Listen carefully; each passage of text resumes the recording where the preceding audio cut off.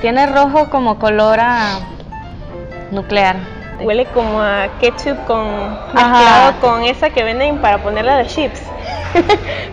Huele bastante bien. Sí. Sí. A mí me huele a pizza. Como salsa de pimentón. Vamos a ver, pues. ¿Y si muero? No me pica para nada. ¿Y te lo tragaste? ¿Sí me lo tragué? Wow. Es enseguida. Siento como un pequeño, una pequeña comezón en la lengua, pero de que me pique, no. Es como enseguida que te pica, es de una vez.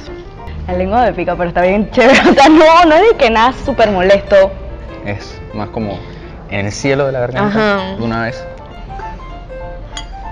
Pero soportable. no, nos, no nos estamos muriendo. Nada más probé como un miligramo, una gotita y ya me pica. ¿Cómo te lo tragaste? ¿Cómo te sientes tú? A ver, quiero saber tú qué sientes. ¿Cómo no te pica? Lo siento, yo no como picante. Aquí, aquí vemos como nuestra compañera sucumbe al poder de... Pero sí pica. la- Si fuera posible que mi, mi lengua se ensanchara y se volviera a poner pequeña y... Mm, es como amarguito y, y- Es como agrio, es como ácido, es como si fuera un limón al que le echaste picante. Muy bien.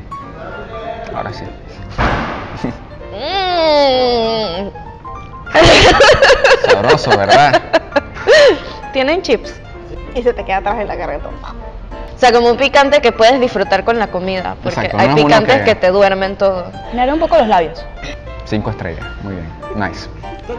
Les recomendaría que lo intentaran.